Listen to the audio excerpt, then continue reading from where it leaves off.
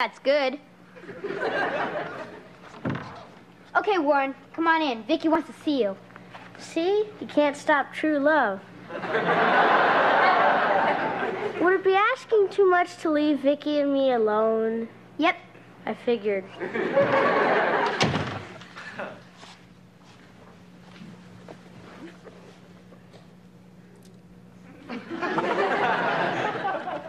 Hi. Hi. I got this for you. I hope you don't mind. I ate a